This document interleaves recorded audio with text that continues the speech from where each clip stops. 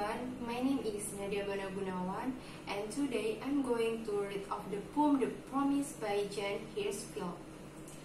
Stay, I say, to the cut flowers, they bud, their hearts lower.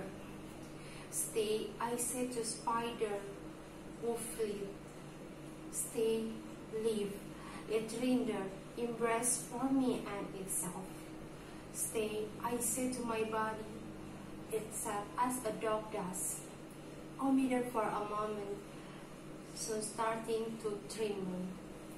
Stay to the earth, of river folly meadows, of fossil escarpments, of limestone and sandstone.